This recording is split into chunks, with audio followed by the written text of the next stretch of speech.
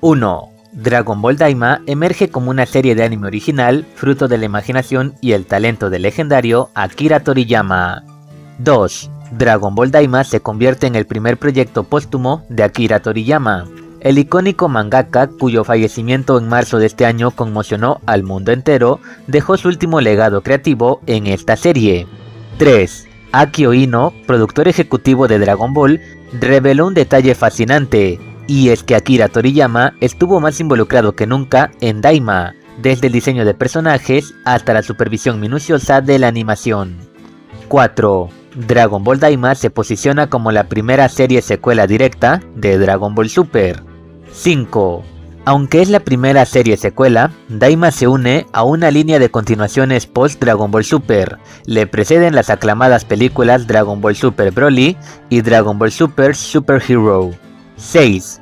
Los fans más perpicaces han notado similitudes intrigantes entre Daima y Dragon Ball GT, con elementos como un Goku rejuvenecido, viajes interplanetarios y el regreso del icónico báculo sagrado. Muchos consideran a Daima como una versión canónica de GT.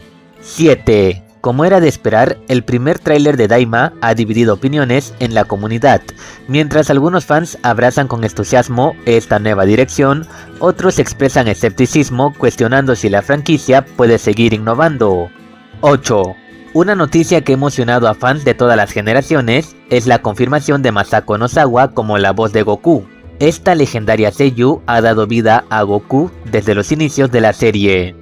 9. Mientras la emoción crece, la duda persiste. ¿Quiénes serán las voces de Goku para el doblaje latino y castellano?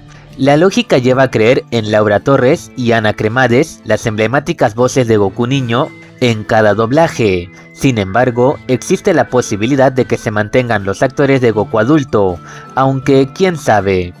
10. El misterio se extiende también a la plataforma de streaming que albergará este anime. Crunchyroll y Prime se perfilan como los principales contendientes, cada uno con sus propias basas en Dragon Ball. Y por cierto, es probable que la llegada del anime a televisión nacional y de paga se dilate tal y como pasó en su momento con Super y sus películas.